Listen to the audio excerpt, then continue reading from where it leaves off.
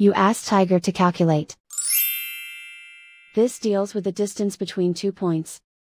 The distance between the two points is the square root of 21,530, or 146.731.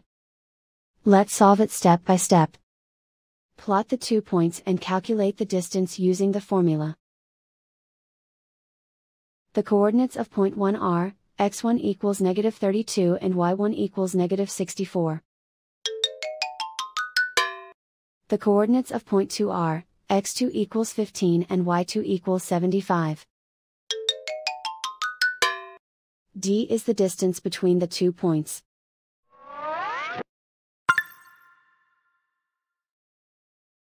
First, take the square root of both sides of the Pythagorean theorem.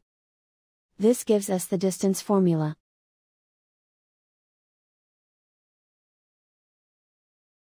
Plug the coordinates of the points into the formula. x1 equals negative 32.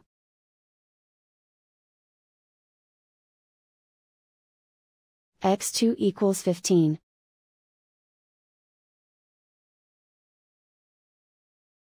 y1 equals negative 64.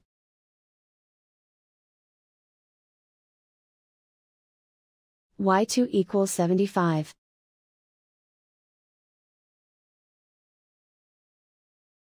Calculate the expression inside the parentheses.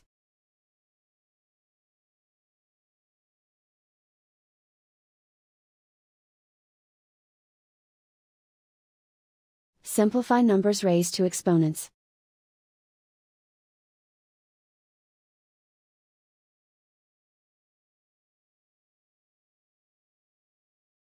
Simplify the arithmetic.